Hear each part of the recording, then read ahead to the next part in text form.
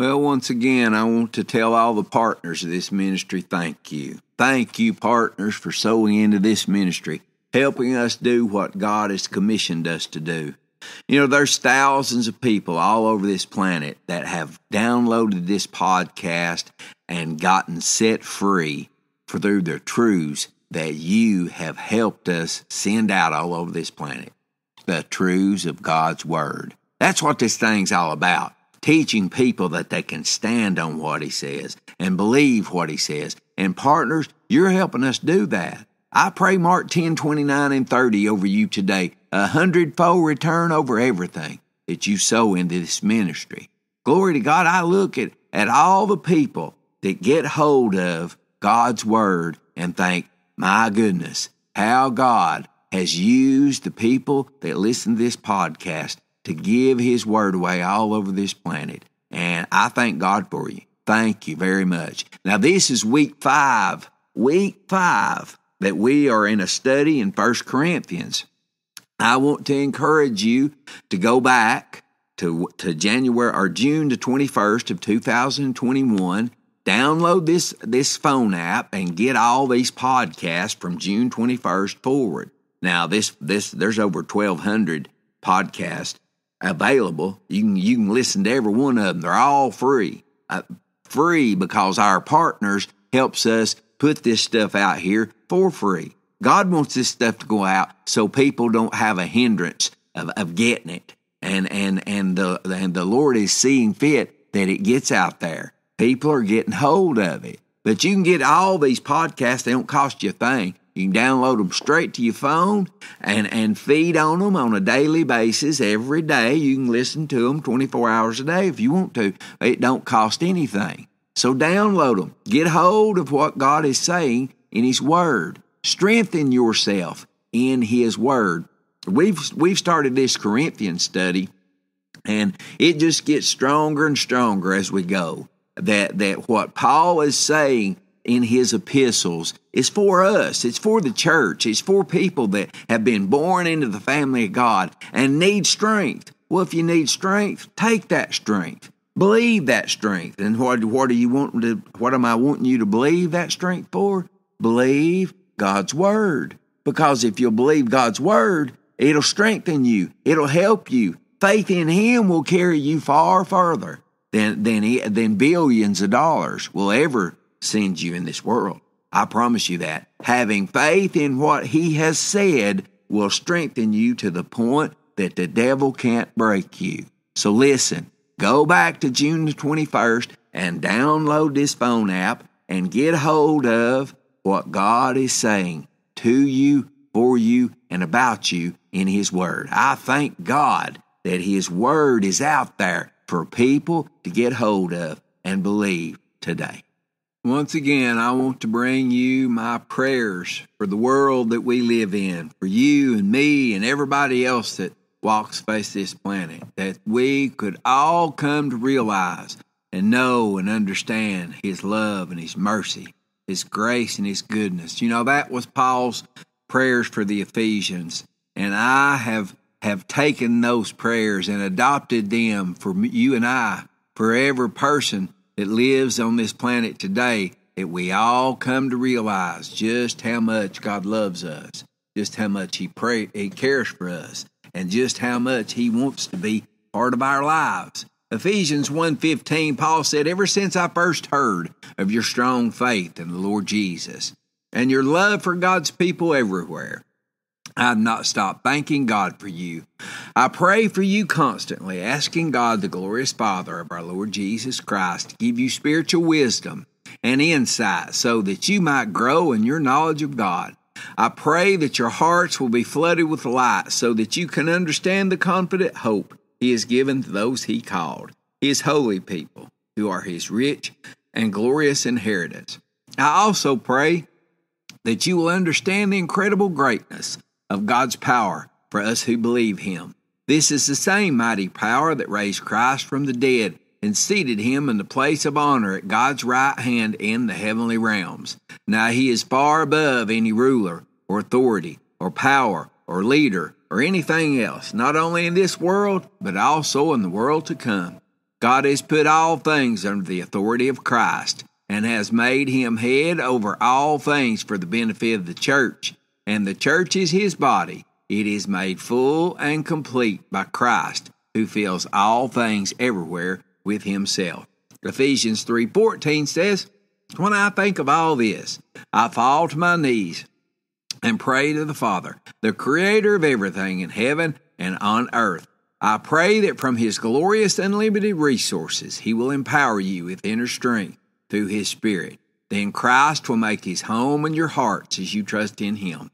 Your roots will grow down into God's love and keep you strong. And may you have the power to understand, as all God's people should, how wide, how long, how high, and how deep his love is. May you experience the love of Christ. Though it is too great to understand fully, then you will be made complete with all the fullness of life and power that comes from God. Now all glory to God who is able, through his mighty power at work within us, to accomplish infinitely more than we might ask or think.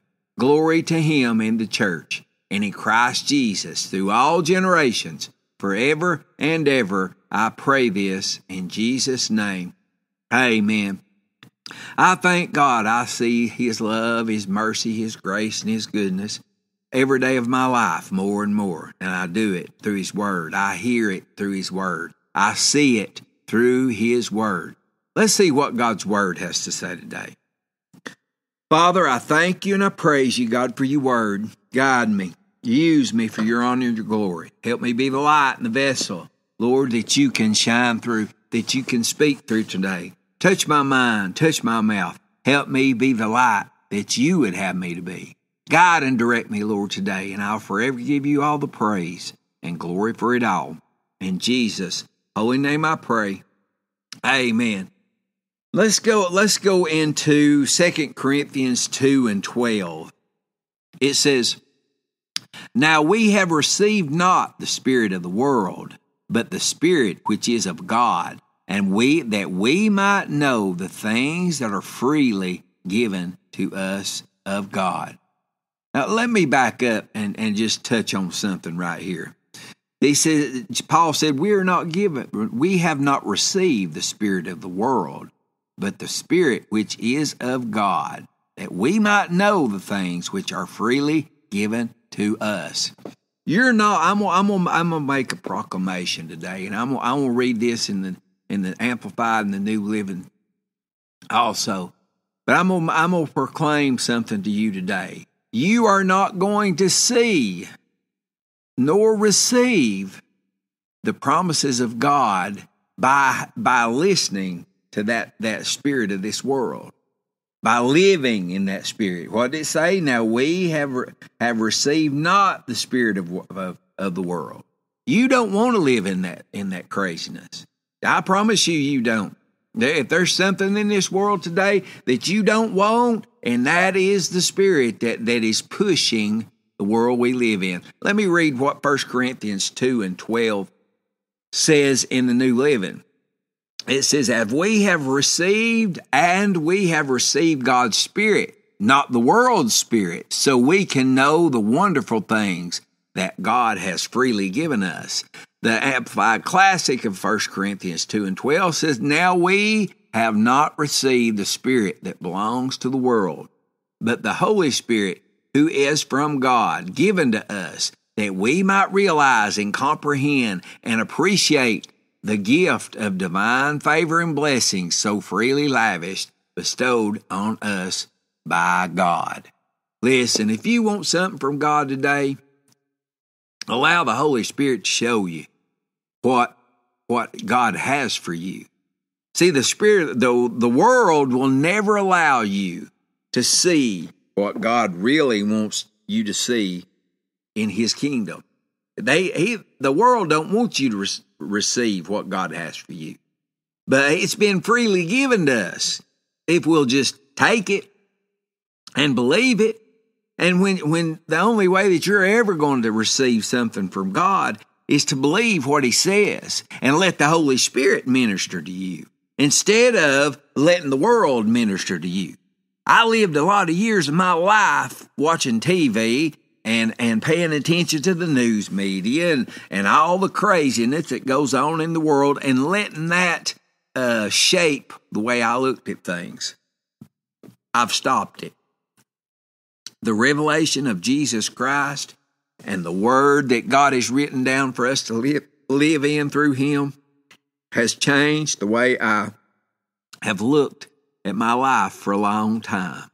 We have been freely given a lot of things on this earth by God. And it's up to us not to listen to this wicked world that we live in and let it allow and, and allow it to hinder us from receiving from God.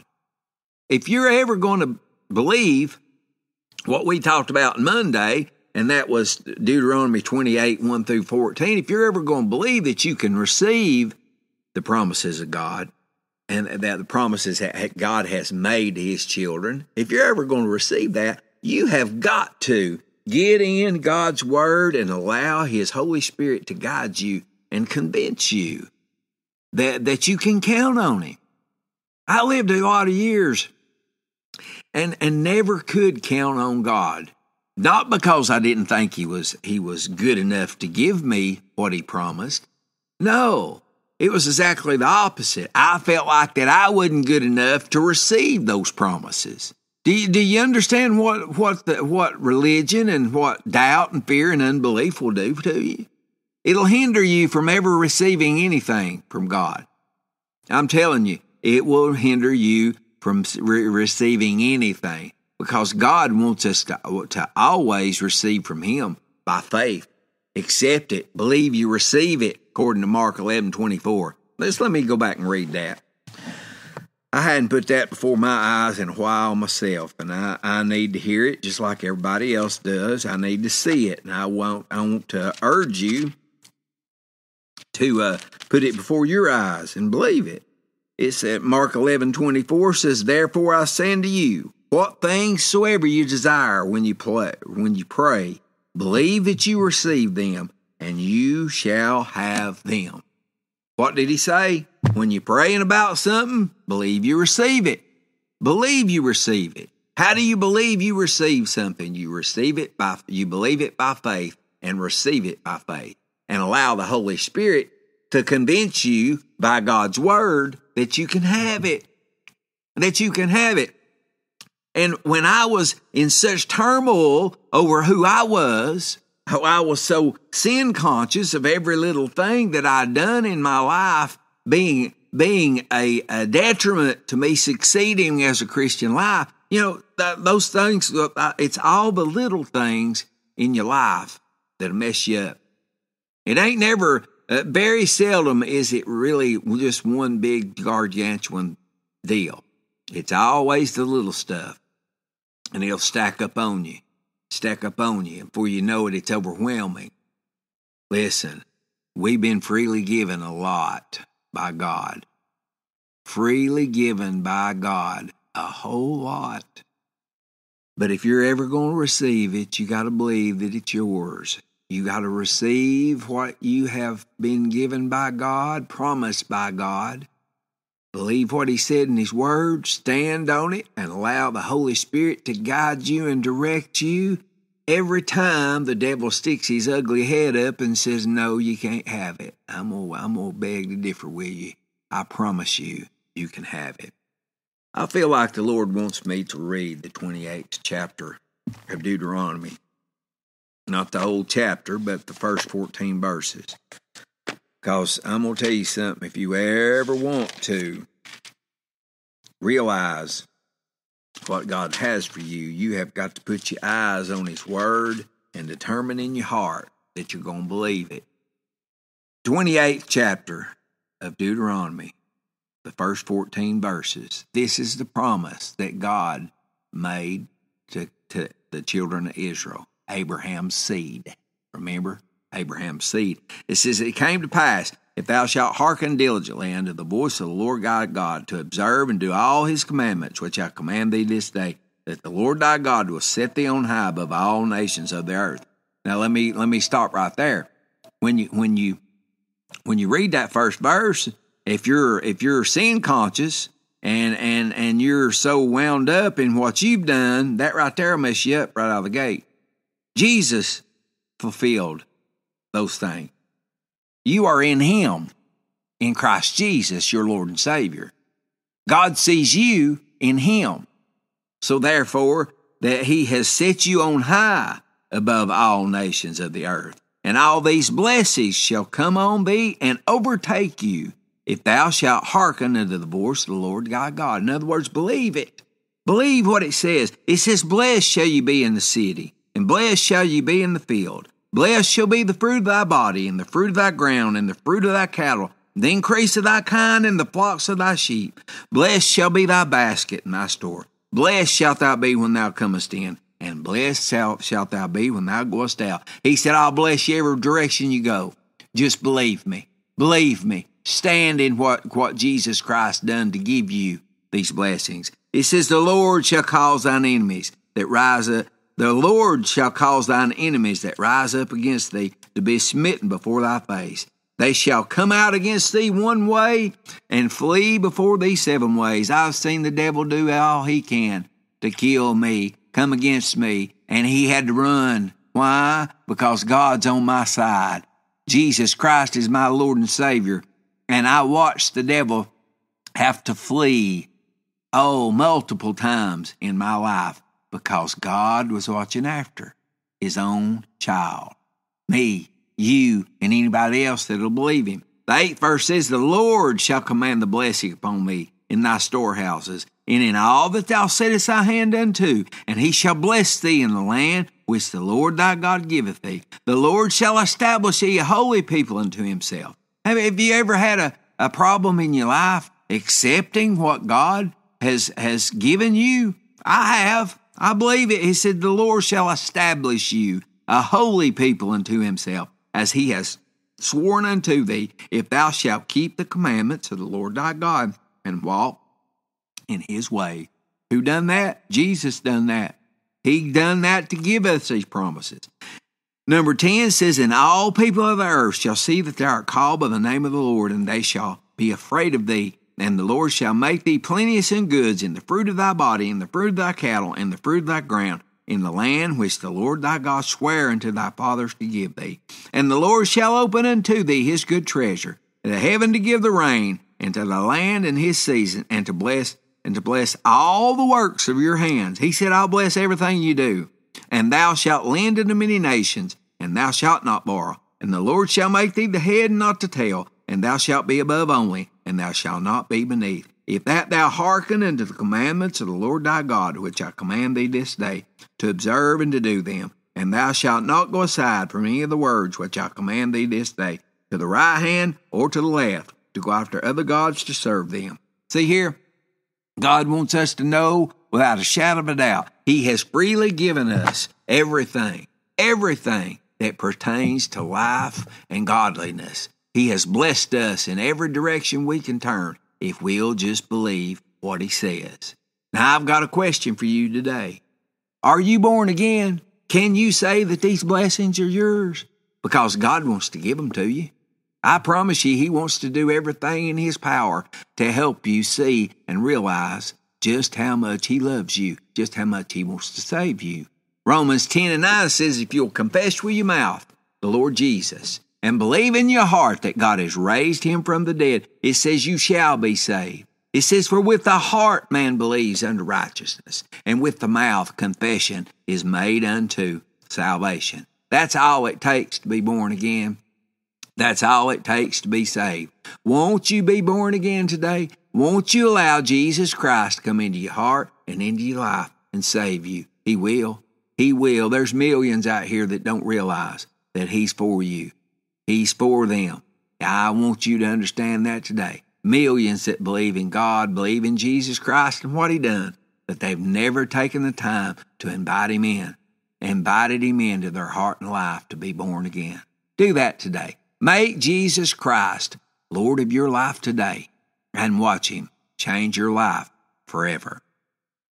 Now, listen, I want to urge you download this phone app go to our website. It's the-prodigalson.com. There's even there's even a, a link to this this phone app. in, in the description or in the notes on this podcast. You can get straight to it. But go to our website and get a hold of what God wants to feed you with every day of this week. Six days a week. We take Saturdays off.